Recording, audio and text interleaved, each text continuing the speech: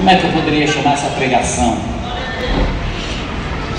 Nada demais é muito, nada de Deus, muita coisa de Deus, ainda é pouco. Pelo que Ele tem que fazer com você. Nada que Ele faz é por acaso. Como nós comentamos na escola dominical, você está no seu serviço, primeiro lugar, não é para você estar bem materialmente. É que lá você vai pregar para alguém e vai salvar essa pessoa. Ou pregar para muitos. Senão a nossa vida não tem sentido. Ele tem sentido na sua vida.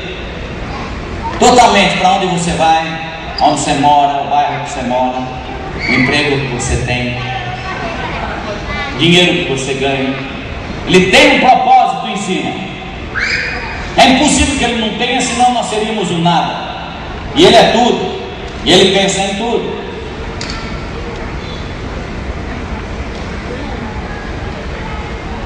Eu vou ler o versículo, vocês vão entender. Primeiro, Samuel 17, versículo é 40. Eu quero que vocês leiam todos juntos, não sei se tem tradução diferente. Todos juntos e bem forte. Pode ler.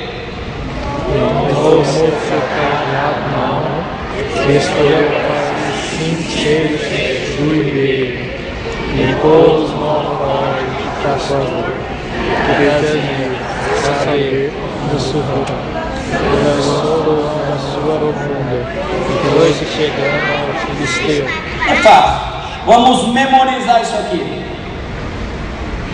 Ele tinha vestido um pouco antes, ele tinha vestido coraça, espada que Saúl tinha dado para ele, as armaduras do exército de Israel.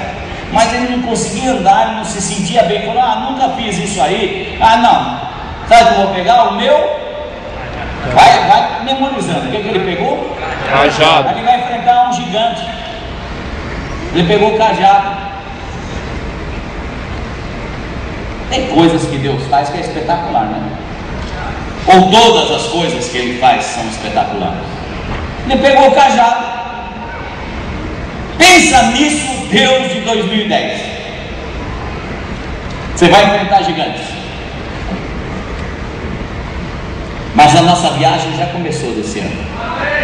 Vamos chegar no fim do ano e vamos dizer muito obrigado, Jesus.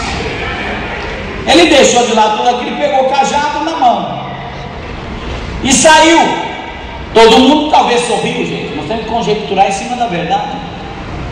As coisas não acontecem assim, como a irmã falou, estava falando, é em cima da verdade. Como que as pessoas pensaram quando ele tirou toda aquela armadura? Pensa aí, um cara de exército tira toda a armadura, vai enfrentar o pior dos inimigos, o mais alto, o mais forte. E pega, não, não, não não, pegou o cajado e sai. Em quem você confia, hein? Governo? Em homens? No seu dinheiro? Hum. Ele pegou o cajado. E ele passou num ribeiro que tinha lá. Num rio. Num ribeiro. E o que, que ele fez? Ele escolheu. Ele não pegou. Ele escolheu. Ah, essa pedra não. Está meio arred... muito arredondada. Eu quero uma tem uma meio arredondada e tem um bico assim, ó. Ah, essa é um pouco menor, com a velocidade, eu quero uma um pouquinho maior, eu vou ter que fazer mais força, mas se acertar. Ele não está lutando ainda, não. Ele vai lutar no nome do Senhor dos Exércitos.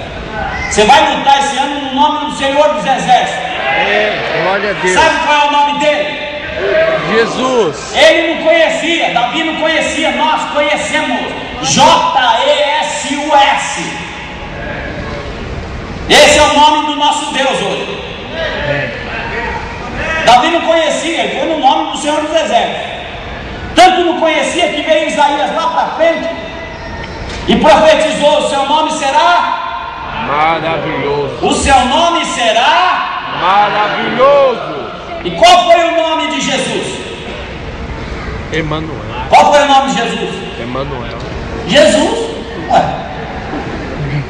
E ele falou: seu nome será. Maravilhoso. Qual o nome que o anjo deu? E chamou ele de Manuel. que quer dizer Deus está aqui. Deus está conosco.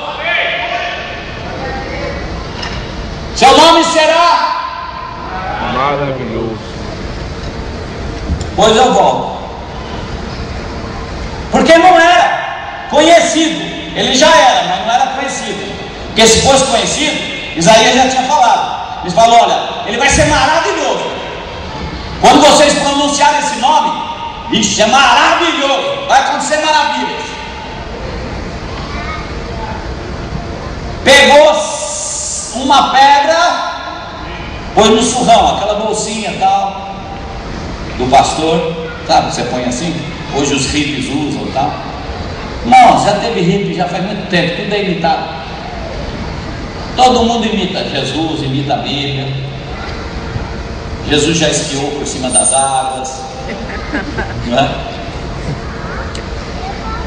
A turma fala de Mário, sai de um lugar aparece no outro. Felipe saiu de um lugar e apareceu em azul. Desincorporou completamente. Eu não sei que velocidade é essa, não posso explicar, não sou cientista. Sei que ele estava ali e já não estava mais, estava lá em São Paulo. É esse o Deus que você vai servir em 2010. Ou você toma vergonha na cara de servir Ele bem, e saber quem Ele é primeiro antes de pregar Ele, antes de você falar dele, saiba quem Ele é. Jesus não é segundo em lugar nenhum, Jesus não faz parte de trindade nenhuma, isso foi invenção católica, romana. Jesus sempre é o primeiro em tudo, em tudo. Se ele fosse só filho, é conotação de inferioridade.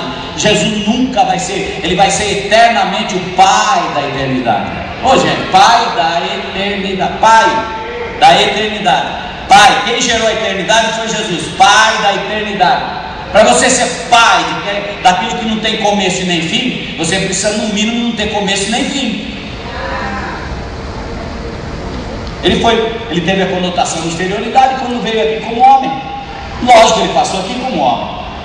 Jesus tinha duas naturezas, humana e divina. Amém. Davi foi no nome do Senhor dos Exércitos. Ele guerreia nossas guerras, vai guerrear a sua. Você vai descansar e vai saber que é a mão dele. Você pensa que o projeto sai da sua mão. Pouco se me dá, hein? Ele pega o cajado, vai lá para o ribeiro, escolhe uma, duas, três, quatro.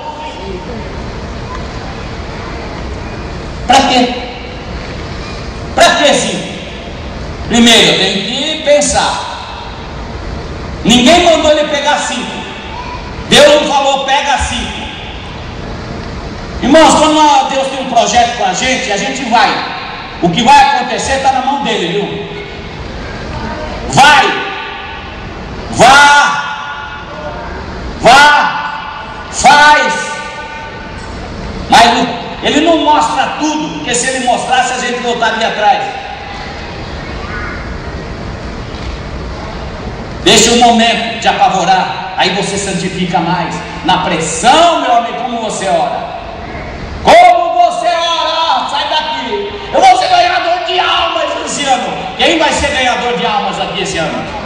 Quem no mínimo vai trazer uma convertida aqui? Precisa converter, trazer e converter. Eu quero ver. Vou chegar no fim do ano. Vocês vão prestar contas. Escolhe cinco, porque ele imagina também. Eu vou enfrentar Golias. Eu não vou com espada. Eu não vou com lança. Não vou com exército nenhum. Eu sou bom em funda. Porque Deus utiliza aquilo que você tem de bom, viu?